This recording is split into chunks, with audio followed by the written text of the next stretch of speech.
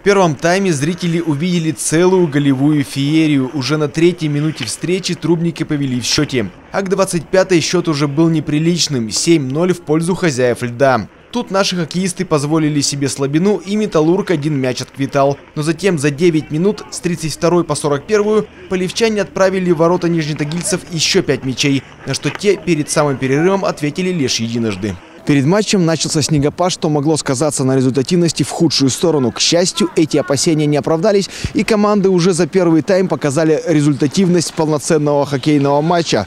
12-2 впереди Северский Трубник. Во второй 45-минутке не ушедшие в перерыве домой зрители смогли увидеть еще несколько самых разнообразных голов. Солировал, как и в первом тайме, Северский Трубник. Как итог 19-5 очередная крупная победа полевских хоккеистов. Ложкой дегтя в бочке победного меда стало то, что в очередной раз в этом сезоне трубники не смогли сохранить свои ворота в неприкосновенности. Видимо, я не дождусь, когда у меня и в защите будет все в порядке, и в нападении все хорошо.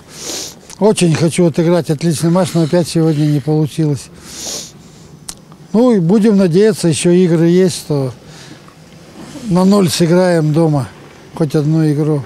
А так, ребятами доволен, результативно сыграли, уверенно, так что вот две игры оставшиеся нужно на таком же уровне отыграть и будет все хорошо. Отметим также, что игра была не грубая. По одному штрафу представители команд получили лишь за неспортивное поведение. Что касается бомбардиров, то в этот раз Дмитрию Сустретову удалось перестрелять Павла Чучалина. На счету первого 5 забитых мячей, но Павел тоже не сильно отстал и свои дежурные 4 гола все же забил. Теперь на его счету 63.